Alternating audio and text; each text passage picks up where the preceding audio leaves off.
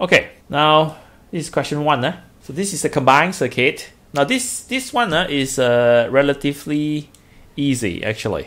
Uh, you should have no problems. Uh. Okay, first we divide this into uh, two sections. Okay, this is one section. Uh, this is another one. Okay, let's call this uh, section one, and uh, this is section two. Okay, so let's find the resistance of section two. Uh, resistance of section 2 first. Section 2 uh, is a parallel circuit, so therefore R equal to uh, brackets 1 over 2 plus 1 over 6 plus 1 over 4 uh, reciprocal. Okay, so what's the effective resistance?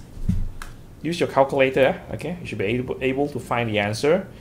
Uh, 1 over 2 plus 1 over 6 plus 1 over four close brackets reciprocal. So this is equal to 12 over 11. 12 over 11. And then uh, section 1, okay, section 1 and section 2 are series, uh, series. Uh. So the effective resistance overall, uh, the R is equal to 2 plus 12 over 11. So this is equal to 3 1 over 11. Oh, okay. Now I see the mistake already. This should be 3. This should be 3. I put 2, right? Okay. It's a careless mistake. This is 3, okay. So it should be 1 over 3 plus 1 over 6 plus 1 over 4. Okay. So I'm sorry. I think this should be 1 1 over 3 yeah? 1 1 over 3 or uh, 4 over 3 this is uh, 4 over 3 the answer is uh, 3 1 over 3 okay? So the answer is uh, 3 1 over 3 this is for question 1 eh? for section 2 uh, we can divide uh, the resistor into three sections this is one section here another one section here and another one section here. So we have section one two three yeah? So let's label it. This is section one this is uh, section two and this is section three. Now let's see section three first. Now section 3 is from this resistor to this resistor. Now these three resistors are connected in series or parallel. These three resistors, series or parallel, series. Yes it's series eh? okay so if it's series then uh, the resistance let's put R3 R3 is equal to 3 plus 3 plus 3 which is equal to 9 ohm. 9 ohm. Section 1 section 2 and section 3 they are in parallel right? Okay you can see eh? here go to here okay uh, split. Go to here, is split again. Now this tree, the connections like this. If you have three resistor connected in this way, okay, uh, is equal to the can connections like this.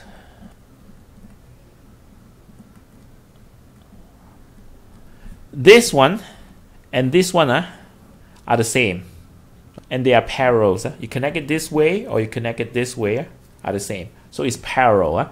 So these three sections are parallel. Okay, three sections are parallel. This one 3 ohm, 3 ohm. This one's 9 ohm. Section 3 is 9 ohm. 9 ohm. Therefore, the effective resistance R equal to 1 over 3 plus 1 over 3 plus 1 over 9. Use the calculator 1 over 3 plus 1 over 3 plus 1 over 9 reciprocal. Then you should get 9 over 7 9 over 7 ohm. Uh, reciprocal eh? reciprocal. So question 3 yeah? We also divide this into three sections eh? now these two are in one sections. They are series eh? and uh, this one another one. And this one another one uh, let's say this is section 1 This is uh, section 2 and this is section 3. Uh, let's start with section 3. Yeah? Section 3. Can you please tell me what's the effective resistance of uh, section 3? 6. Eh? 6. Because it's series, uh, in series. So 6 ohm. 6 ohm. Uh. Section 2 and section 3. Eh? Can you please tell me what types of connection it, it is? Series of parallel? Section 2 and section 3. Series of parallel? It's parallel eh? because you see, it, it go here and then it split. You go here, it split into 2. Eh? Okay, so this and 2, these are, are parallel. Parallel. So if it's parallel, then the effective resistance R, the effective resistance R equal to uh, 1 over 3 plus 1 over 6 uh, reciprocal and this is equal to 2 ohm uh, 2 ohm. So now we have another sections a big sections here. We call this. This is a big sections again let's call this sections uh, 4 uh, section 4 now we just found that this section 4 these three uh, resistor together the resistance the resistance of this section 4 is equal to 2 ohm. This group. Yeah, because these two uh, are parallel, so grouped together, uh, their rest, the, the, the, effective resistance is equal to 2 ohm. So for section 4, the effective resistance is 2 ohm. Okay. Now, let's see this section 1. Uh, section 1 and this this one, the whole group here, section 1 and section 4, uh, they are series or parallel. This one to this one, there's no branch, right? From this, uh, from this to this, uh, there's no branch, right? So it's series. Uh, the connection is, this is a series connections. So this one 3 ohm, this one 2 ohm, and they are series. So what is the effective resistance? 5 ohm, yes, 5 ohm. That's correct. The effective resistance is 5 ohm. If you circle these three, is, is uh, if you at the very beginning you just assume that this is one section that's that's quite hard for you to find the resistance actually. But of course, of course, if you straight away take this as six, uh, and this is three, uh, that's that's fine. Okay, because sometimes uh, some students uh, they are quite smart, okay, and uh, they are quite sharp they, they, they, they take this as uh, one sections, okay? And uh, from here, straight away, he say, okay, now I, I know. Uh, I, I know this is 6, okay? Because uh, two uh, series, right? Okay, this is 6 and this 3 and these are uh, parallel. So straight away, they, they, they find the effective resistance. 1 over 3 plus 1 over 6 reciprocal equals to 2. Uh, if you are very sharp, you can straight away see this. Yes, you can take this as one big sections. Not 3 ohm, huh? it's 2 ohm. Because this one, uh, this one, this part, let me redraw this for you, okay? Let me redraw this because sometimes uh, you, you can redraw, okay? You can redraw the, the, the uh, resistor uh, so that it's easier for you to calculate that, okay? Okay, now this one is the first one, this, this 3 ohm, okay? This 3 ohm, huh? Okay, now when, when you go to this point, it's split into two, right?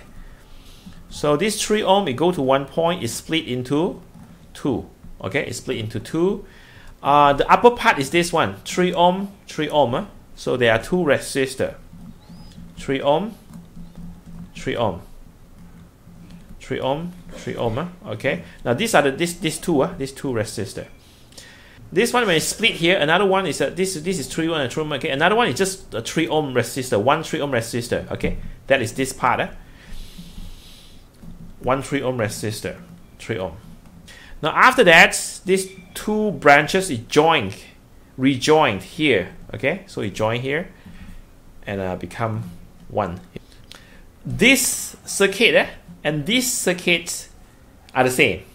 This and this are the same. What's the effective resistance? Eh? When current is move, eh, and current is move, now up to this point, current will split. The current will split, eh? okay? So if this is uh, 10 ampere, okay, uh, maybe, uh, not, not this one first, okay. Uh, let's say we have another resistor here. another resistor. When the currents move to this point, it, it will split, okay? Maybe this one is a 3 ampere here and then 7 ampere go down. Uh, part of the currents will go up and part of the currents will go down, okay? And uh, now why this is 3 ampere and this is 7 ampere? Okay, now this is depends on the resistance of this, this two resistor. If this one, the resistance is low, then more currents will flow here. And uh, this one, the resistance is high, then less currents will go up. So it will split this way. More currents will go to the resistor with lower resistance. This one low resistance, then 7 ampere go here. This 3 ampere go here. Okay? This is what happens. Normally, this is what happens. Eh? But if there is no resistance here, because just a wire, no resistor, uh, then 100% of the currents will go down. No currents go up. 10, all 10 ampere go down. All 10 ampere. After that, uh, after this point, uh, okay, then it will be 10 ampere here, okay? So the current will flow this way and no currents flow up.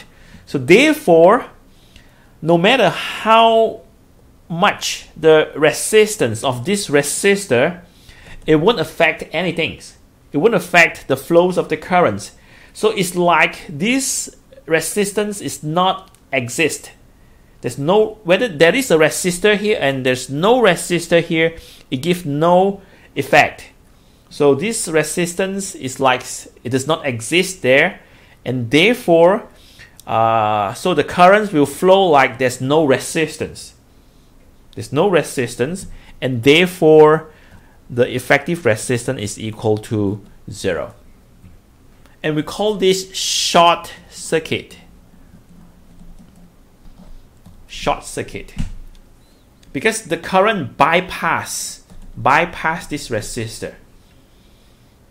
Bypass this resistor. For example, give another example. Okay, uh, you have a resistor. So the currents, uh, suppose the current flow here, here, here, and here, right?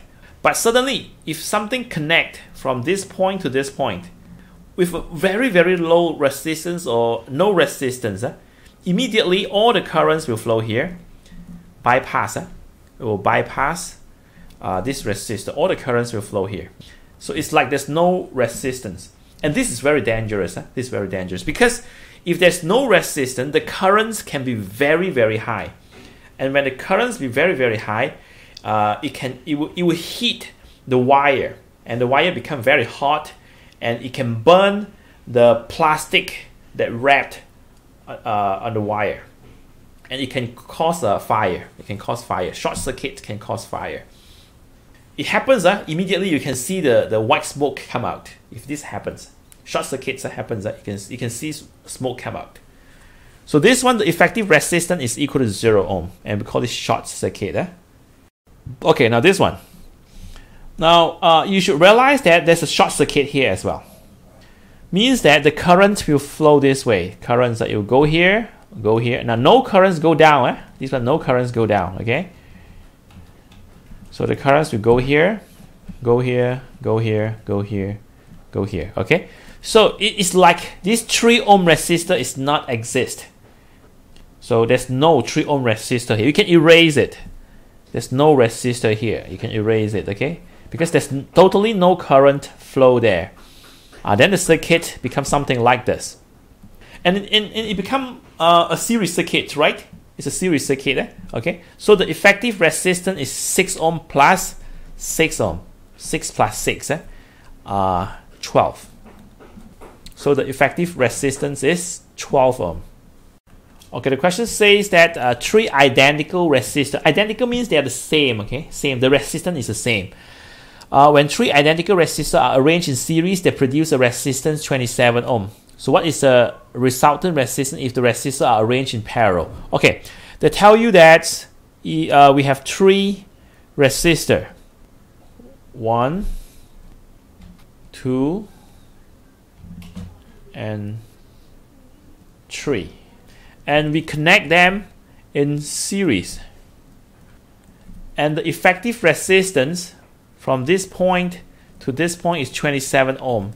So what is the resistance of each resistor? Yes, each one is R, huh? okay? So what's the resistance? So the effective resistance should be R plus R plus R, right? Okay, yes, 9, huh? okay, that's correct. So R, uh, 3R ah, is equals to 27. So R equal to 27 divided by 3 equal to 9 ohm. Okay, R plus R plus R equal to 3R. 3R equal to 27 ohm. So R equal to 27 divided by 3, 9 ohm. So each one is 9 ohm. Okay, each one is 9 ohm. And this 9 ohm resistor, if there are connected parallel, they are connected parallel. Connected parallel this way. Each one 9, right? 9, yeah? So the effective resistance will be 9 ohm divided by 3 resistor and is equals to 3 ohm. Or you can, of course, you can use these methods uh, R equals to uh, 1 over 9 plus 1 over 9 plus 1 over 9 reciprocal. You will still get 3 ohm. Huh? But as I told you just now, if uh, all the resistor uh, have same resistance, uh, then you can use the easy way. Straight away, take the resistance of one of the resistor divided by the number of resistor. Okay, 9 divided by 3 resistor, 3 ohm. So the answer is 3 ohm. Eh?